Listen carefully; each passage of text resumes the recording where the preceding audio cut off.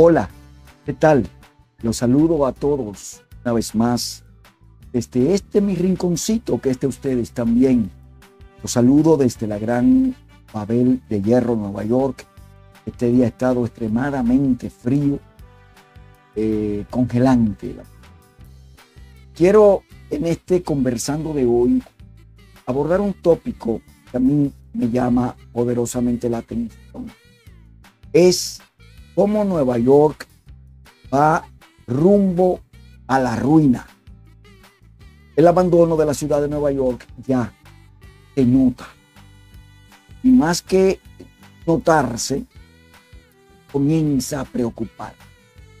De pronto, la ciudad que nunca duerme comienza a sentirse inquietantemente sonolienta los departamentos en su mayoría están vacíos y Nueva York están en un nivel récord de más de 1.200 restaurantes cerrados y los pejes gordos de Wall Street están haciendo su trabajo desde Greenwich o los Hamptons.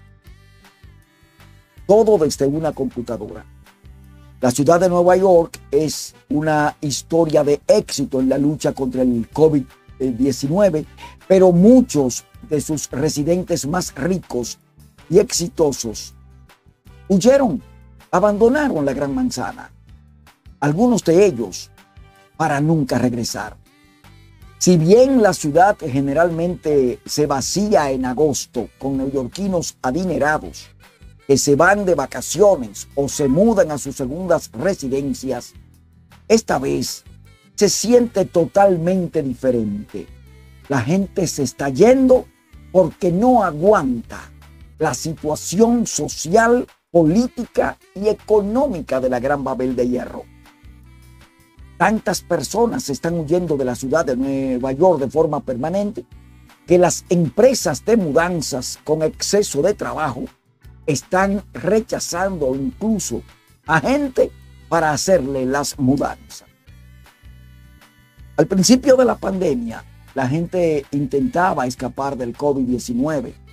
Más recientemente, las razones incluyen arreglos permanentes de trabajo desde cualquier lugar, la perspectiva de escuelas presenciales más seguras fuera de la ciudad y el miedo a los saqueos y la violencia con armas de fuego que ha crecido de una manera increíblemente rápida en la ciudad de Nueva York, una ciudad que en este momento adolece de seguridad y adolece de la presencia de la policía en los principales escenarios violentos.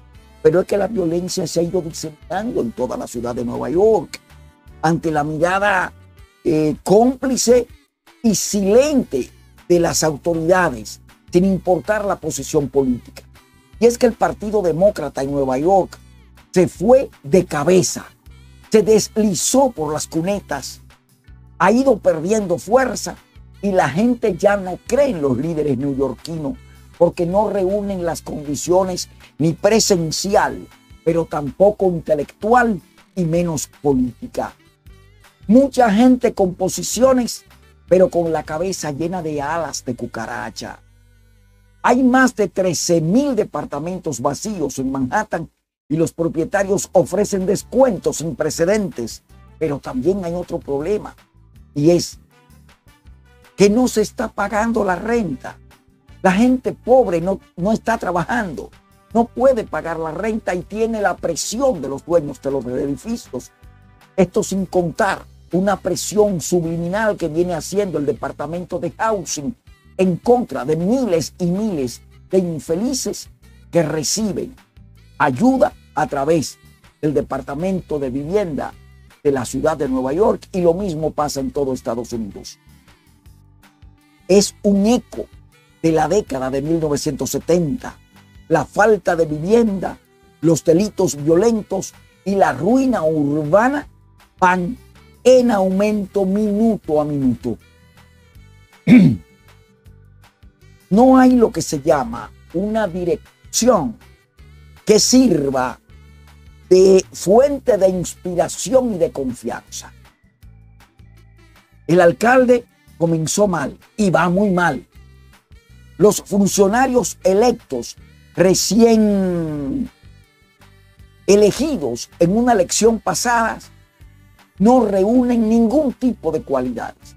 Son una fábrica de mimes que no aporta nada porque ni siquiera tienen la presencia, ni siquiera tienen el bagaje del respeto, que es lo mínimo. El rascacielos Empire State Building está sufriendo a medida que los inquilinos se van y los turistas se mantienen alejados de una ciudad bullanguera, escandalosa y una ciudad que no dormía. Sin embargo, ni siquiera se escuchan las sirenas de las ambulancias, pero menos del benemérito cuerpo de bomberos. Salvo que no haya un caso mayúsculo que los bomberos tengan que salir, ya no se escucha el Nueva York, no se siente el Nueva York del pasado. No hay razón para hacer negocios en Nueva York.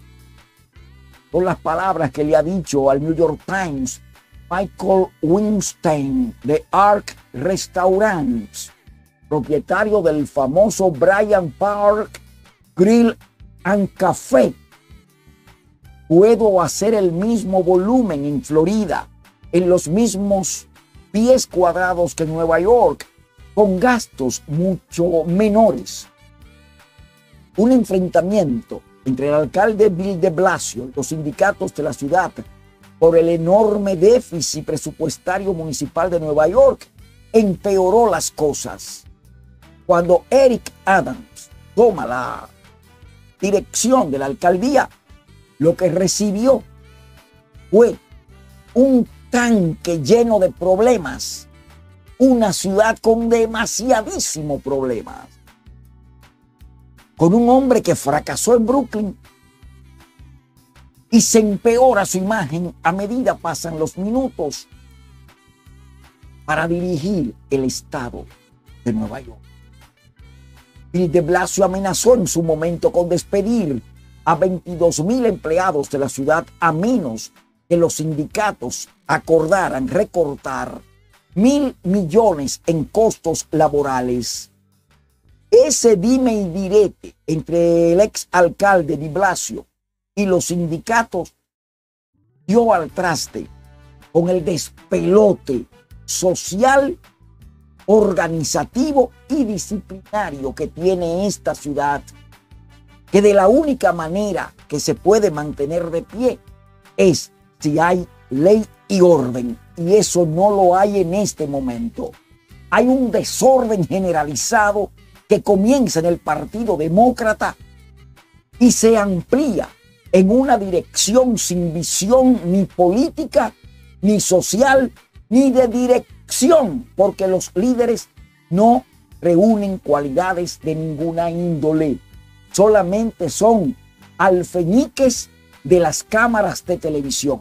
Y si son latinos, entiéndase, New York One Noticia, eh, Radio Guado, eh, el Canal 41, el Canal 47, usted no sabe qué se está haciendo ahí como noticia. Es como si Adriano Espaillat estuviera manejando unos hilos secretos y manejan los departamentos de prensa de estos medios, principalmente del 41 y el 47, desde el Boulevard de los Sueños Rotos en el Alto Manhattan. Todo cuanto acontece en Nueva York comienza y termina en el Alto Manhattan. Es como si se estuviera manipulando. En este día de Martin Luther King, la comunidad afroamericana hace un acto en honor al doctor Luther King hablan los negros de Harlem. Y Univisión y 47 van y buscan a un tipo que no tenía que ver nada con el acto y que ni siquiera estuvo junto con las principales autoridades de Harlem.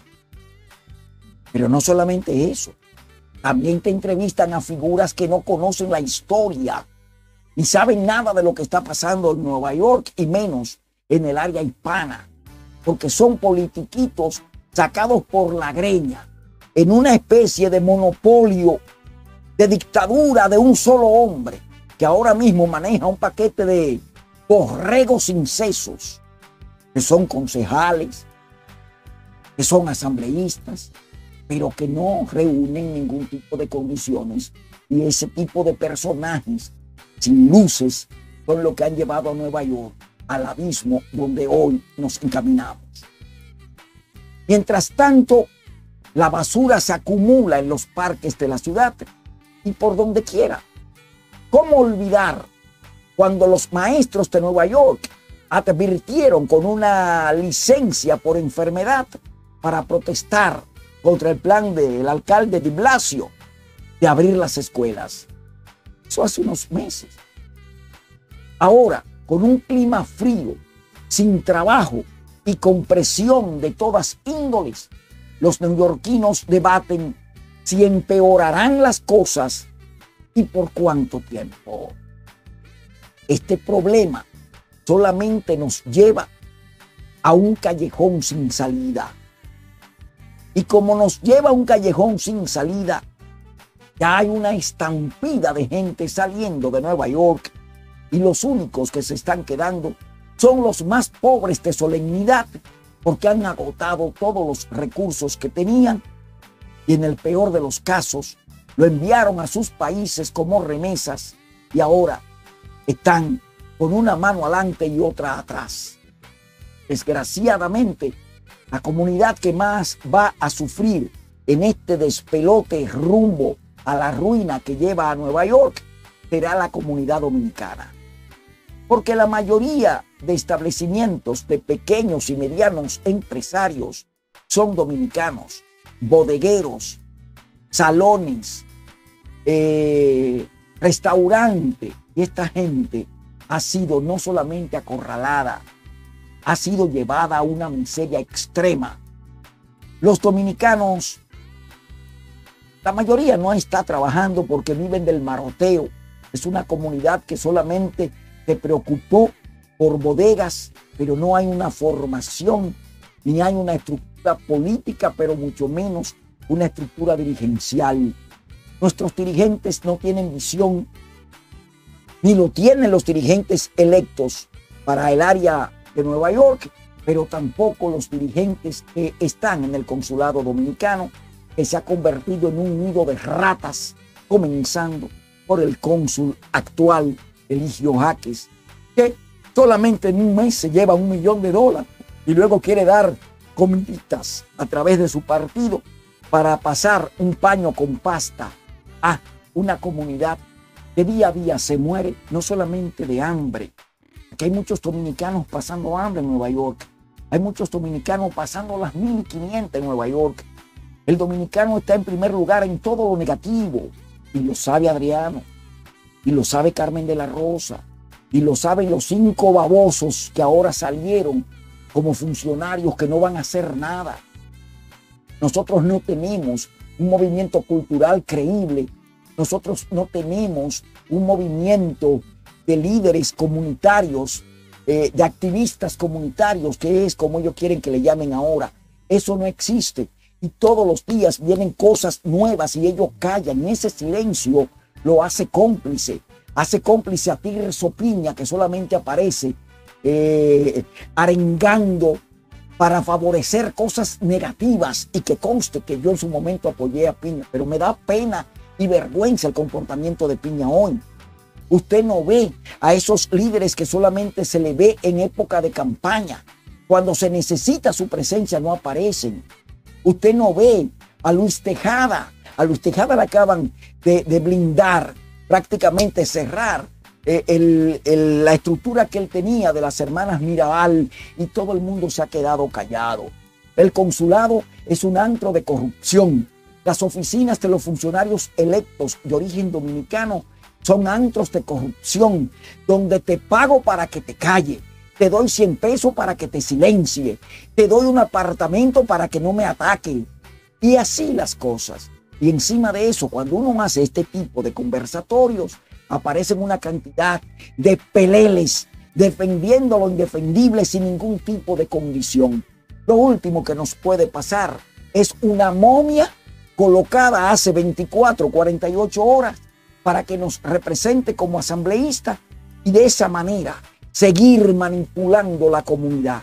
121 personas escogen a un representante para que éste vaya a, ocupar un solio sin ningún tipo de capacidad.